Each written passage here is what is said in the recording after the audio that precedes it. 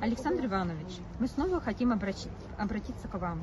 Мы, жители села Кременкуль Челябинской области, от лица всех мам и детей нашего поселка. Как вы знаете, что у нас в Кременкуле открылся незаконный оптовый овощной рынок.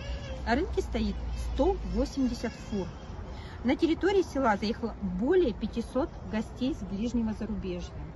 Во всех областных СМИ пишут, что властями Сосновского района нам выделены патрульные машины полиции для охраны, что никак работа рынка не повлияет на нашу безопасность.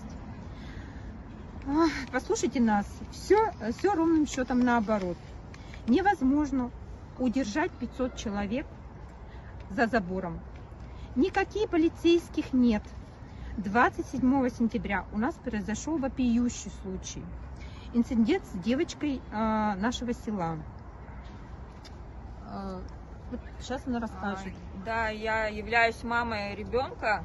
А, Девочка несовершеннолетняя, а, мужчина не славянской внешности, а, мигрант. Под- Подошел э, к ребенку, начал э, знакомиться, потом сел с ней в маршрутку, начал гладить по волосам, обнимать а, на то, что ну, ему было озвучено, что она несовершеннолетняя, и попросили его ее не трогать. На это абсолютно э, ну, никак его не остановило. И а, после того, как они доехали в поселок и вышли на остановке, он э, шел за ней и говорил, что давай я тебя провожу до дома. Ребенок испугался, зашел в магазин и просто боялась оттуда выходить.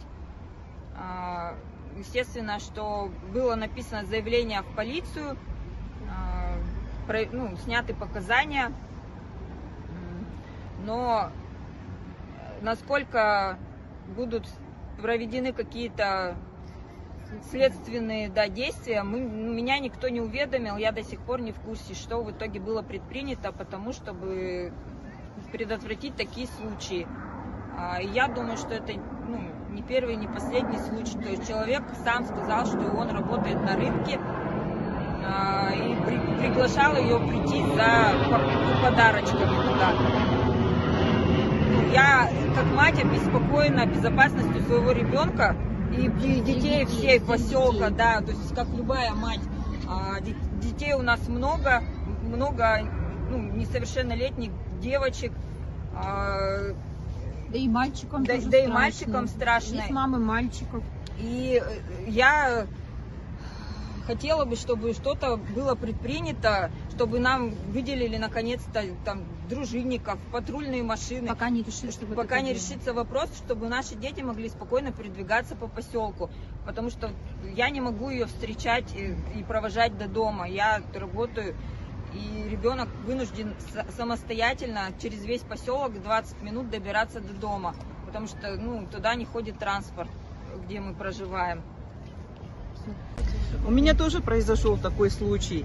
Э, Мы боимся, конечно, за наших детей, но мы и за себя боимся, и нам угрожает опасность. Я э, живу на отшибе, буквально недалеко от этого рынка, у меня дом там. Я пошла в магазин, по тропинке, никого не трогала. Идет мне навстречу э, мигрант, я буду говорить своими простыми словами. Э, Я тропинку, естественно, не уступила, потому что я иду по своей родине, в конце концов. Он мужчина, должен был уступить. Он мне не уступил тропинку. И вот я думала, что сейчас мы с ним столкнемся лоб в лоб. И уже буквально вот э, ну, в- э, 10-15 сантиметров друг от дружки он делает шаг влево и со всей силы ударяет меня плечом так, что я отлетаю с этой тропинки. Вот. Естественно, я заругалась.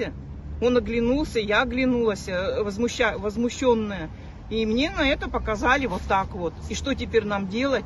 Ждать, когда нам голову начнут отрезать? Ну, говорю как, так, как есть, так, как показал мне.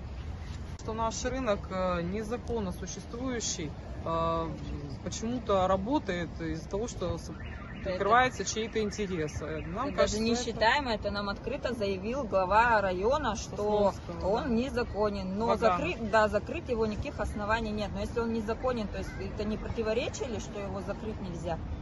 К нам и прокуратура приезжала, и Следственный комитет, и Роспотребнадзор, и санэпидемстанция, и миграционная служба. Но почему-то рынок продолжает работать. Преступность растет, к нашим детям пристают. Нам страшно девочек уже выпускать. От- отписки идут со всех инстанций, что все перенаправлено в район Сосновский, но от района Сосновского ни ответа, ни привета. То есть а, мы не доверяем уже ни администрации, ни, ни структурам, поэтому э, хотели бы, чтобы как-то или представитель какой-то был направлен, или вы сами лично в этой ситуации разобрались и изучили все документы, которые у нас есть, которые мы собрали. То есть э, это не голословное утверждение, у нас есть все факты зафиксированные на видео, на фотографии, документально мы можем предоставить все. Поэтому Ждем к нам в гости, сами убедитесь, э, что у нас здесь творится.